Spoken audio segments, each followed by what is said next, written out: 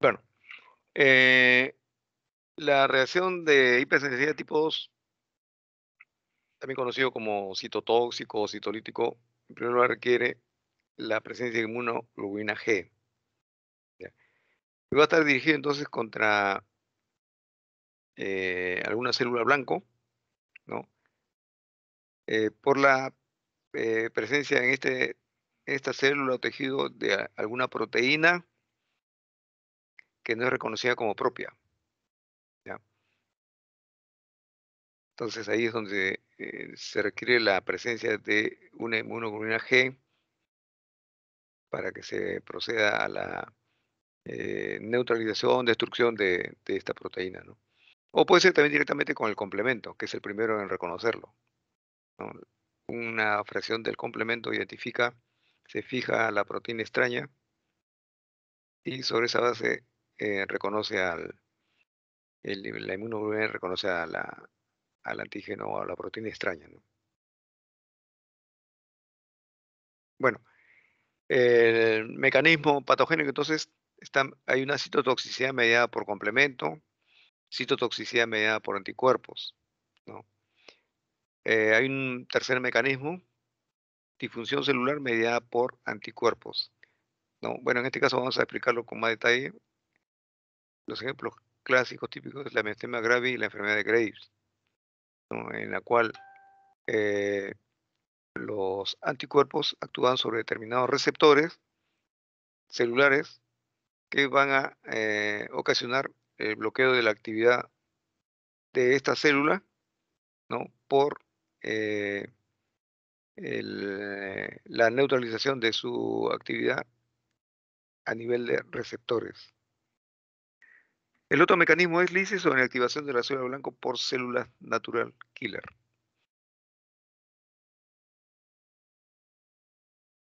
Bien. En relación a la reacción de hipersensibilidad tipo 2 mediada por complemento sérico. Observen ustedes que la célula blanco, ¿no? Eh, tiene un anticuerpo que es rápidamente eh, eh, acoplada a esta proteína extraña, ¿no? El, complemento lo que va a propiciar es la formación de la llamada eh, properdina, que no es sino un complejo derivado de la activación sucesiva de la cascada de complemento, hasta formar lo que llaman el complejo de ataque de membrana, y que al final va a ocasionar una lisis de tipo osmótica. El otro mecanismo puede ser la formación de unas estructuras eh, del complemento que permiten la, eh, el reconocimiento de los macrófagos, ¿no? De la presencia de estas este, estructuras y por el mecanismo de ozonización, ¿no? Se acerca a estas células ya eh, fijadas, ¿no? y lo, eh, lo digiere, ¿no?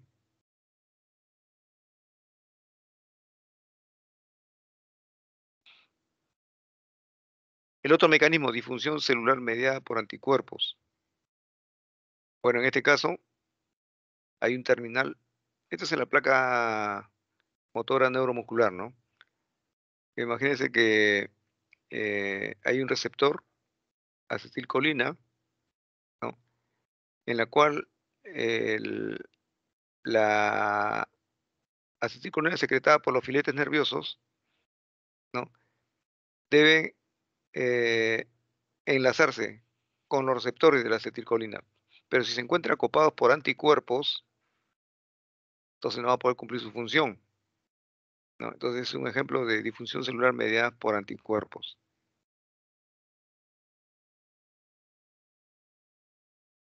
Eh, aquí este es otro tipo de reacción de hipersensibilidad tipo 2 mediada por anticuerpos. Observen ustedes, la célula blanco se encuentra con un anticuerpo que reconoce alguna proteína extraña y se fija a la célula blanco.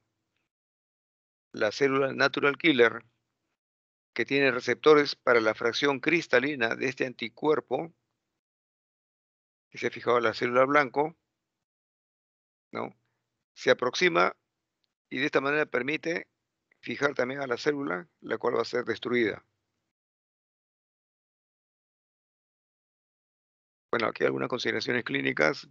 Eh, los ejemplos típicos de reacción de hipersensibilidad tipo 2 tenemos a las anemias hemolíticas. Eh, la más importante es, ahora vamos a mencionar acá algunas, reacciones transfusionales. Las reacciones transfusionales para este tipo de reacción citotóxica pueden ser dos tipos, hemólisis intravascular o hemólisis extravascular. ¿no? ¿Qué sucede acá? En las reacciones transfusionales, basta con que el receptor no tenga alguna proteína que sí lo tiene el, el, dador, ¿no? O la bolsa que va a ser transfundida, ¿no? Entonces se va a producir un mecanismo de hemólisis. Si es intravascular, es prácticamente de acción inmediata, ¿no? Este es el ejemplo típico de transfusiones no compatibles por el sistema ABO, ¿no? Paciente A, que yo le transfundo un paquete de glóbulos rojos B, ¿no? O un paciente del grupo O, ¿no? Eh, le transfundo sangre de un paciente de tipo B, ahí va a haber hemólisis intravascular. ¿ya? No solamente el sistema ABO, por si acaso, produce este mecanismo ¿ah? de hemólisis intravascular. También hay otros sistemas. Ya el doctor Subete le va a mencionar cuáles son esos otros sistemas, pero le voy adelantando. ¿no? Hay el sistema KEL, el DAFI, el KIT, que también están relacionados con hemólisis intravascular. En otras palabras, el paciente en esos momentos presenta un anticuerpo dirigido contra el sistema DAFI, KEL, KIT. Y la destrucción es inmediata. Se libera hemoglobina libre, que puede tener un efecto peroxidante sobre las superficies endoteliales pero la más peligrosa de todas es que comienza a depositarse eh, en los endotelios, ¿no? Y que puede producir una insuficiencia renal, conocida como taponamiento renal, ¿no? ¿Por qué? Porque comienza a cristalizarse y a nivel de glomérulo ya no circula o circula muy lentamente la sangre, y hay una insuficiencia renal entonces, en este caso, ¿no? La hemólisis extravascular ya no ocurre dentro del vaso, perdón, dentro del vaso sanguíneo, me refiero al vaso sanguíneo, sino dentro del vaso o en el hígado puede en menor proporción. Lo que sucede es lo siguiente. Estas células, eh, el ejemplo típico es el del factor RH,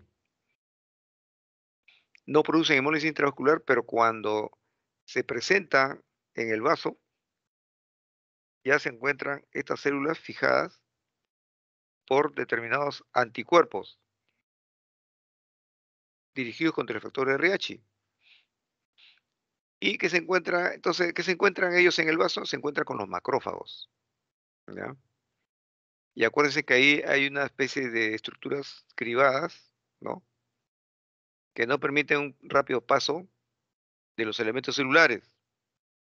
Ustedes saben que el glóbulo rojo tiene una, una forma bicóncava que le permite en un orificio de 3 micras ellos poder contorsionarse y pasar la, esa, esa valla. ¿no? Pero ¿qué sucede cuando están ya eh, sensibilizadas con anticuerpos, IgG, por la proteína extraña relacionada con el RH? Entonces va a ser muy difícil que atraviesen esos orificios de 3 micras de diámetro, ¿no?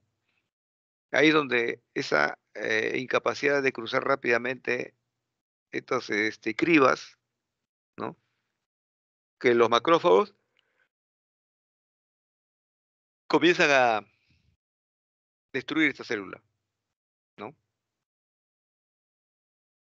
Entonces esto ocurre en el vaso, no en el vaso sanguíneo, sino en el vaso, en el órgano.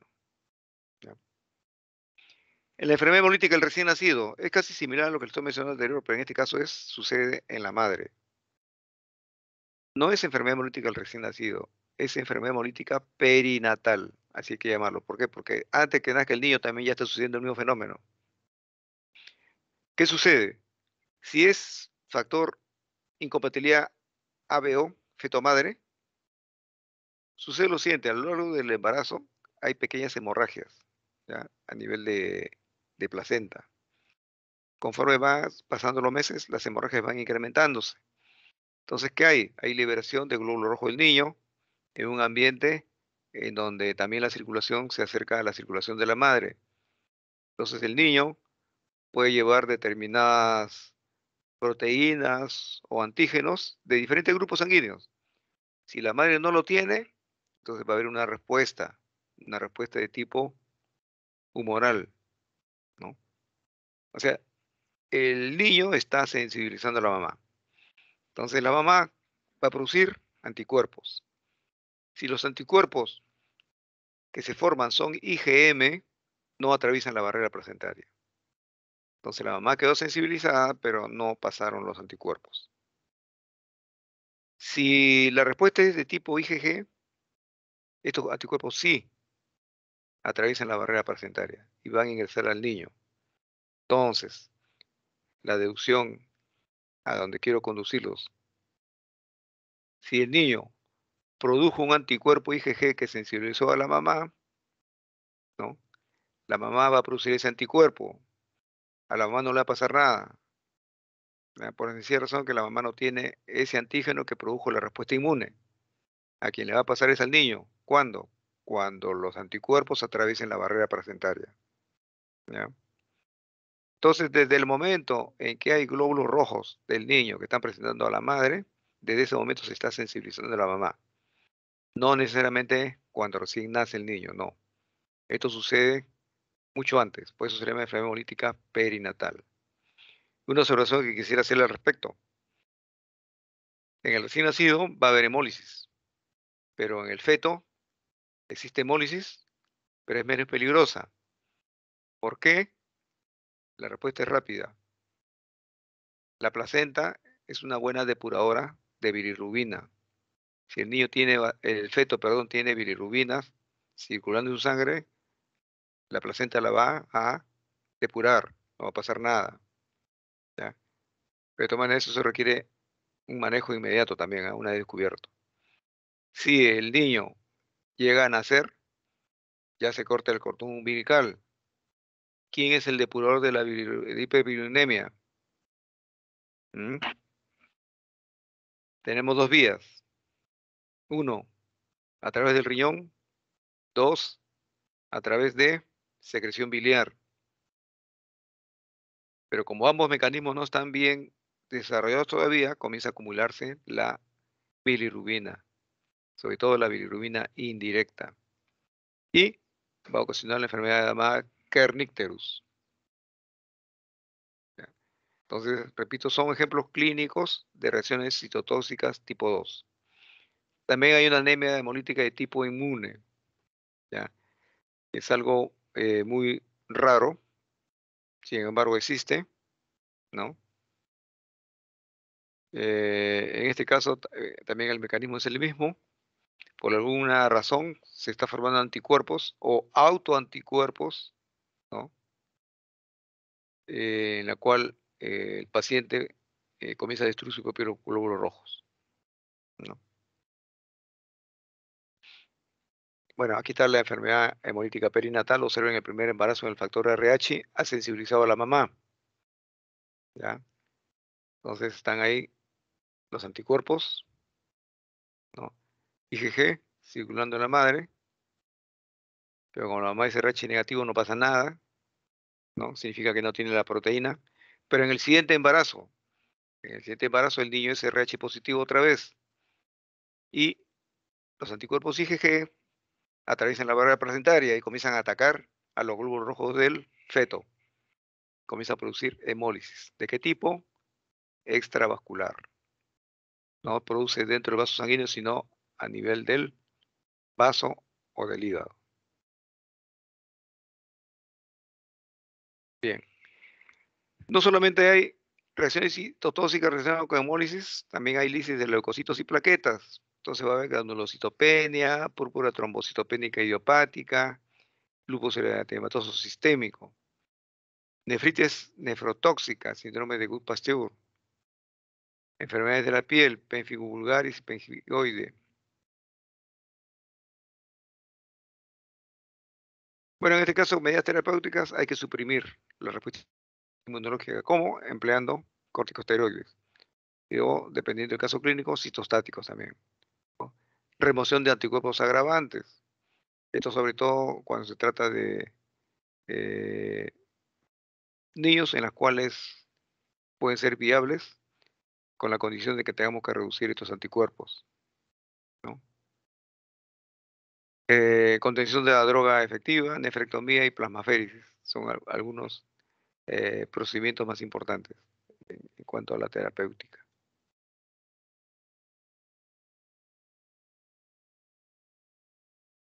Reacción de hipersensibilidad mediadas por complejos inmunes, tipo 3. Bien, si ustedes se dan cuenta acá, eh, siempre hay mediadores de tipo inmunológico, ¿no? Habíamos empezado con la inmunoglobulina E en el tipo 1, la inmunoglobulina G en el tipo 2. Ahora en el tipo 3 son complejos inmunes circulantes. En otras palabras, el antígeno está unido a su respectivo anticuerpo, pero por alguna causa no han podido ser eliminadas, ¿no? O degradadas, ¿no? Entonces han comenzado a depositarse. Se depositan en la membrana basal vascular, es una forma, ¿no? o puede depositarse también en el vaso sanguíneo, ¿no? pero cualquiera que pueda ser la causa va a activar el complemento, ¿no? sobre todo la C3A o C5A, que son las anafilotoxinas más conocidas.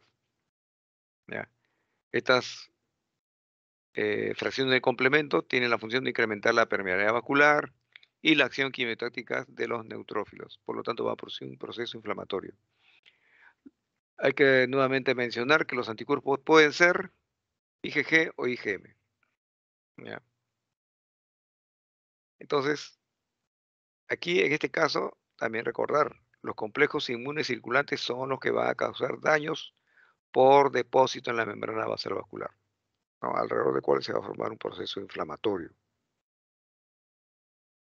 Miren, acá, esta es la cascada que conduce a la reacción de hipersensibilidad tipo 3, ¿no? Es una IgG que se une al antígeno que lo encuentra, ¿no?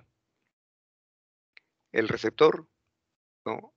De la célula ha captado ese complejo, ¿no? Y el complemento se fija a esta célula que ha captado este complejo o este inmunocomplejo circulante, ¿no? Entonces puede ser el vaso, lo que va a propiciar entonces la acumulación de determinados eh, macrófagos, neutrófilos, células presentadoras de antígeno en el área, ¿no? donde se encuentran los depósitos de inmunocomplejos, ¿no?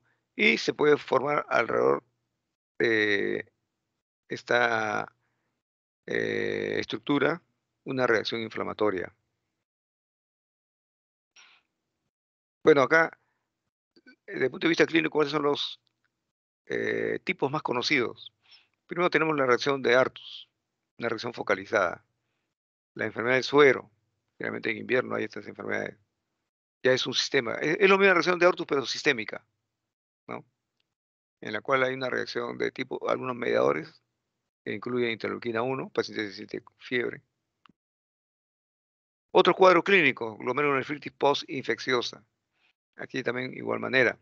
Se han formado anticuerpos después de una infección, por algún motivo estos anticuerpos se unieron a los antígenos, pero no pudieron ser removidos, están circulando y comienzan a depositarse en la membrana basal o de repente en los vasos sanguíneos. Enfermedades de tipo autoinmune, ¿no? Eh, neumonitis por hipersensibilidad, como la herpesquiliosis broncopulmonar alérgica, es uno de ellos. Recordar desde el punto de vista histórico, en 1903 Artus inmuniza conejos, ¿no? Con inyecciones de suero de caballo, ¿no? ¿Qué es lo que observo cuando hace esto?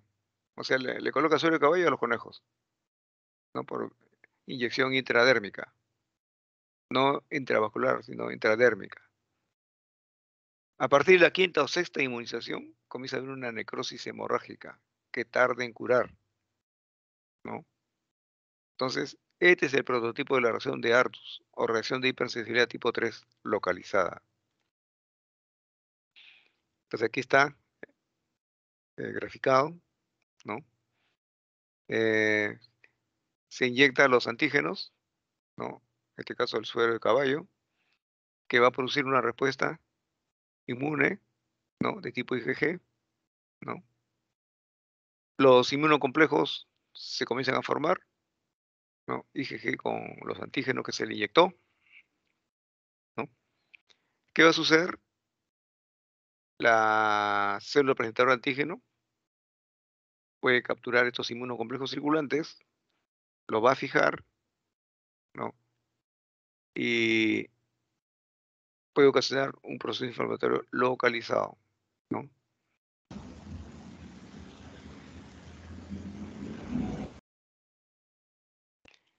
Observen ustedes acá, esta es una reacción de Artus, un corte, o sea, la hipercelularidad que se ha formado alrededor de estas estructuras de los vasos sanguíneos. Bien, ¿Cómo se forman estos complejos inmunes? Uno, por activación de complemento y liberación de anafilotoxinas, incremento de la permeabilidad vascular, que conduce a una lesión tisular, por lo tanto hay un proceso inflamatorio ahí, pero por complejos inmunes que se depositaron a ese nivel. El otro mecanismo es acumulación de polímorfos nucleares, liberación de enzimas lisosomales, y al final también termina en una lesión tisular. ¿Cuáles son las manifestaciones sistémicas provocadas por complejos inmunes? De tipo sistémico, la enfermedad prototipo es la enfermedad de suero. En otras palabras, acá esto, esta, calificación, esta categorización de la enfermedad de suero fue resultado de las observaciones realizadas por Pirker y Chick en pacientes con difteria y tétanos, a los cuales se le trataba con suero de caballo. Bueno, antes la medicina estaba así. Una manera de estimular el mecanismo inmune era colocarle suero de caballo sobre todo para enfermedades como difteria y tétanos. Pero de pasada aparecieron estos trastornos secundarios, como conocido como la enfermedad de suero. En la primera fase observen cómo el inmunocomplejo circulante se ha formado y comienza a depositarse en la membrana basal.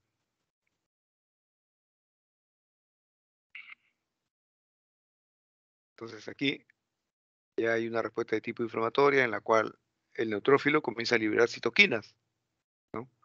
En un intento de responder a este depósito de sustancias que no deberían estar en este sitio, no son depósitos de sustancias ya extrañas. Se comienza el mecanismo de, fagocitosis. Eh, se desencadena un proceso inflamatorio con el consiguiente mecanismo de agregación plaquetaria. Acuérdense que el proceso inflamatorio también activa el mecanismo de la coagulación. Y comienza a haber daño tisular producto de las enzimas que han sido secretadas por los neutrófilos o células presentadoras de antígenos. ¿No? Entonces es el inicio del proceso inflamatorio. Bueno, ¿qué factores influyen en el depósito de inmunocomplejos circulantes? Cuando los inmunocomplejos son grandes, rápidamente son identificados por macrófagos. Entonces, ¿qué va a suceder? Los fagocitan y los destruyen. Si son pequeños, pueden ser eliminados a través de la orina y no pasa nada. desaparecieron los inmunocomplejos. Pero los medianos es el problema. Inmunocomplejos de mediano tamaño no pueden ser identificados por los macrófagos, precisamente por su tamaño, ¿no? Pero tampoco pueden ser eliminados por riñón. ¿Por qué? Porque su tamaño tampoco les permite atravesar el mecanismo de filtración, ¿no? Entonces el tamaño influye. La integridad del sistema fagocítico mononuclear también es importante. Si el mecanismo fagocítico mononuclear está venido a menos, obviamente que la depuración de la circulación de la sangre de estos inmunocomplejos circulantes va a ser difícil, ¿no? Y por otra parte, considera también el depósito de inmunocomplejos en donde? En órganos que tienen buena circulación, riñones, articulaciones, piel, corazón y vasos. Vasos pequeños sobre todo, ¿no? Entonces, ahí es donde pueden depositarse y ahí es donde comienzan a formarse estos inmunocomplejos circulantes.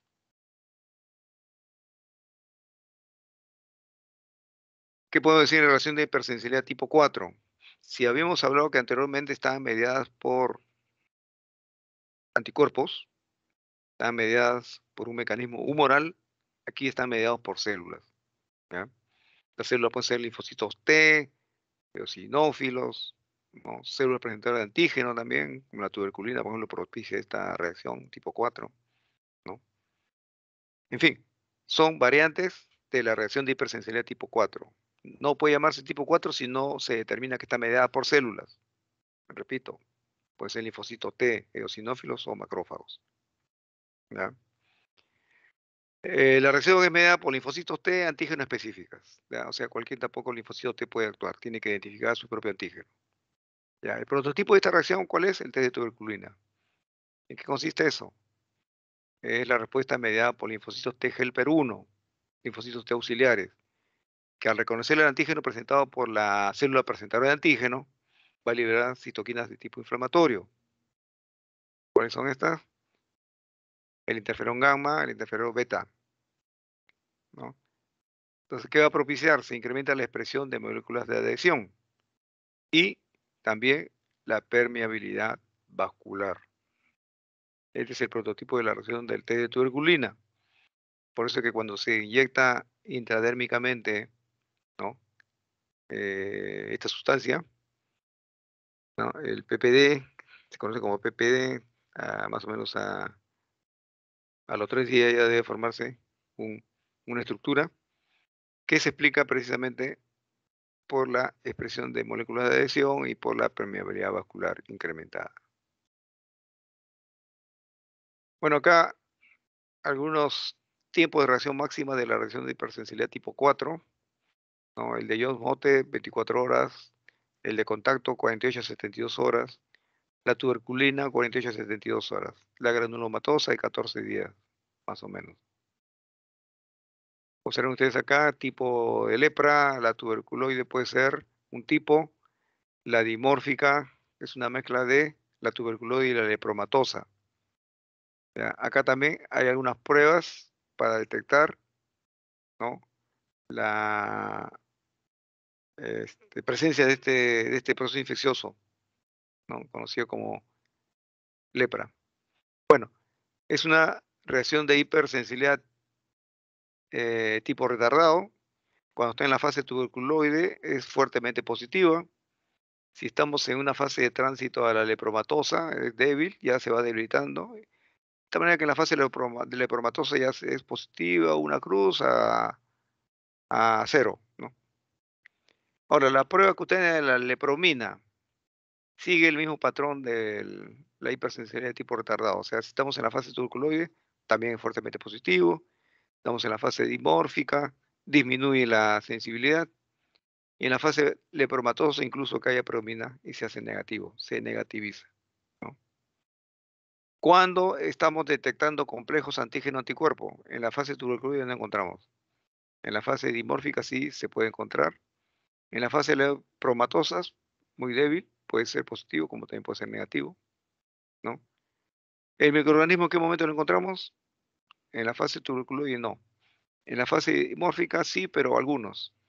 En la fase lepromatosa encontramos muchos abundantes microorganismos que son fácilmente identificables.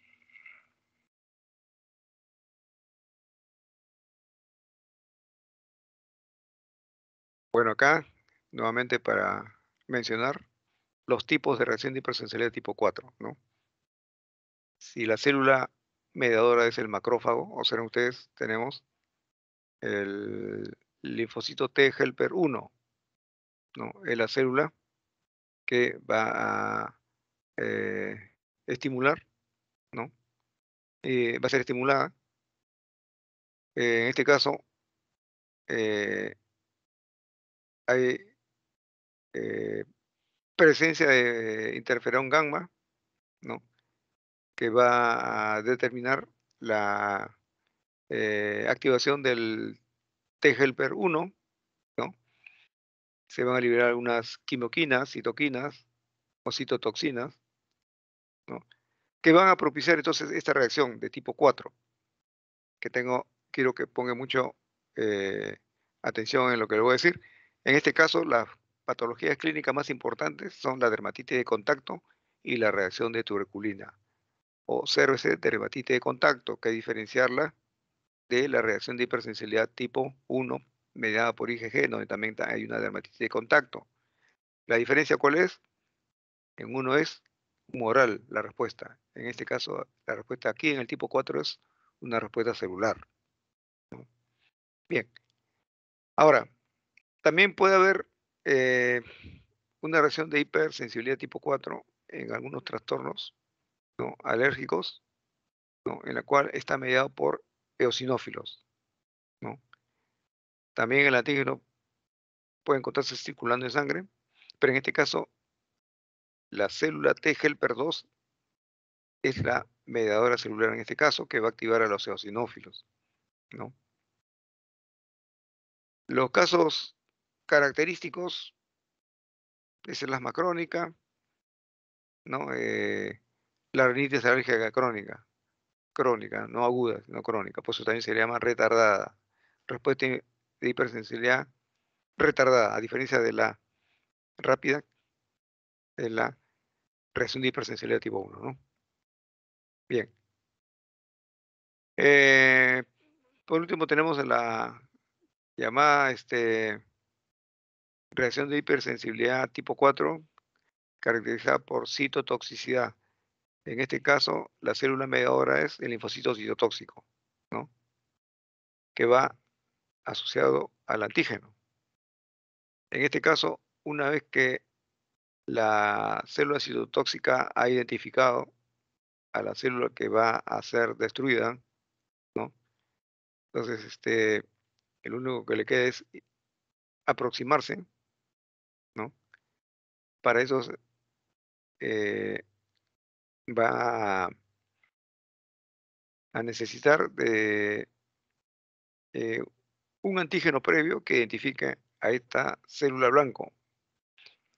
El caso típico característico es el, la dermatitis de contacto. Y aquí están las etapas de la reacción de hipersensibilidad tipo 4. Observen. Vamos a poner el, antígeno es inyectado subcutáneamente y procesado por los antígenos, eh, por las células presentar antígeno local. Entonces un linfocito T helper 1 reconoce al antígeno y secreta citoquina. esto va a actuar sobre el endotelio vascular. A consecuencia de esto comienzan los fagocitos y el plasma a producir la lesión característica, ¿no? Una, pequeña eh, respuesta de acumulación de células, ¿no? En la cual se forma la, la famosa, eh, podemos llamar eh, papila, ¿no? No es una zona indurada, ¿no? Que permite establecer que la respuesta ha sido positiva frente a la inyección del antígeno por vía subcutánea. Esto ocurre entre las 24 a 72 horas. Bueno, acá, por ejemplo, reacción de hipersensibilidad, ¿no? Sus reacciones y la célula T efectora mediador de la respuesta antigénica específica. Eh, vamos a suponer acá, a ver, eh, la hipersensibilidad de contacto. ¿Cuál es el antígeno? A ver, algunos aptenos, ¿no? Eh, iones metálicos pequeños, níquel, cromato. La consecuencia es una reacción epidérmica local con su eritema, un infiltrado celular, ya hemos visto, pequeñas vesículas que se forman, ¿no? Abscesos intraepidermal. La enteropatía por sensibilidad al gluten, la enfermedad celíaca. ¿Cuál es el antígeno? La gliadina, ¿no? ¿Qué va a suceder? Las consecuencias, atrofia de las vellosidades intestinales, ¿no? El tubo digestivo del intestino delgado, síndrome de mala absorción. Bueno, acá está la dermatitis de contacto. Observen aquí. Dermatitis de contacto en la región de hipersensibilidad tipo 4, ¿no? Entonces, eh, bueno, el, el, agente de contacto sensibilizador penetra la piel, te enlazas a una proteína del paciente, ¿no? el cual son rápidamente eh, capturados por la célula Langerhans. La célula Langerhans no son sino células presentadoras de antígeno, ¿no? Es su función entonces capturar patógenos extraños. ¿no? Pero en este caso la célula Langerhans van a presentarlos ¿no? a linfocito TH1, ¿no? el cual va a secretar interferón gamma, gamma y otros otras citoquinas. Luego, ¿qué va a suceder? Van a activar a los queratinocitos que también secretan citoquinas, como la interleuquina 1, factor necrosis tumoral alfa, quimioquinas. Y producto de esta actividad, ¿no? Eh, se secretan mediadores proinflamatorios y se genera el proceso inflamatorio conocido como dermatitis de contacto. Bueno, aquí está el, típico desarrollo de esta dermatitis de contacto. Igual, imagínense acá dermatitis de contacto con celularidad incrementada.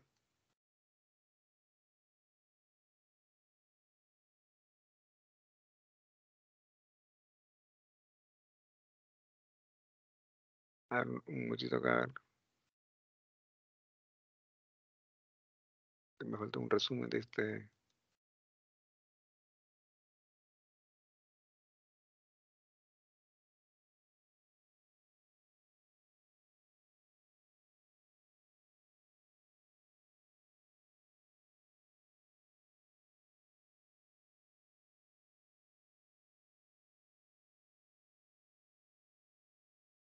Acuérdense de este cuadrito.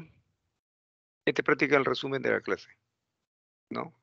Tipo 1, mediador IgE, tipo 2, IgG, tipo 3, IgG, pero bajo la forma de complejo circulante, inmunocomplejo circulante.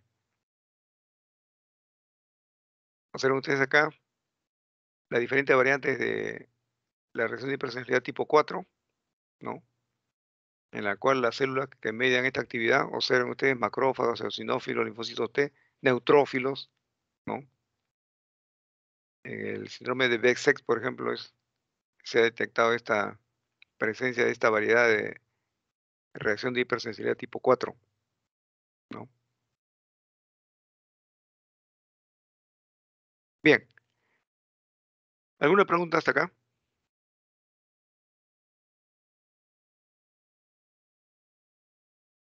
Es importante que dominen esta, este tema que les he mencionado porque eh, en un conversatorio hay un, uno de los conversatorios está relacionado con una vasculopatía, ¿no?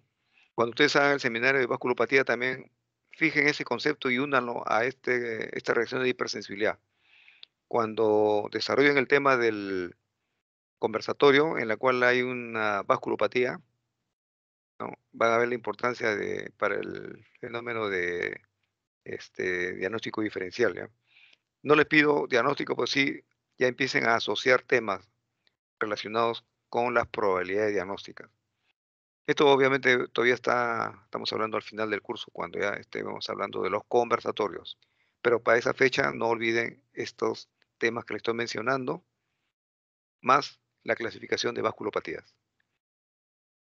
Bien, si no hay preguntas, entonces hasta acá nomás quedamos.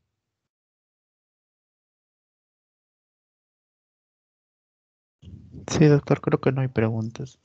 Sí, doctor, eh, con respecto al primer examen, eh, según el sílabo dice que es en la, semana 7 y estamos en la semana 4. Eh, entonces, ¿sería el 27 de septiembre el examen? Claro, porque la siguiente semana es semana, hoy estamos 6, ¿no es cierto? Ajá, estamos en la semana, ahorita estamos en la semana 4. Ah, ya, está 4. Entonces la siguiente semana es, no, hoy día estamos 6, hoy día, fecha. 6. Ah, 6, claro. 15. 15, 22, 27, sí, efectivamente. ¿Ya? Con la doctora Gladys Patiño en la siguiente clase, ¿no? Y la doctora eh, García, la última. Y después es el examen. Ahí llega el examen, sí. Ya, ya, doctor. No se olvide de dejarnos sus diapositivas, por favor. Ah, ya, en este momento lo voy a colgar, ¿ya? Ok, doctor, muchas gracias. Ok. Ah, la lista también, doctor, no se olvide de descargarla. Sí, ya, ya la descargué ya. Ya, ok, doctor. Ya, ok, gracias.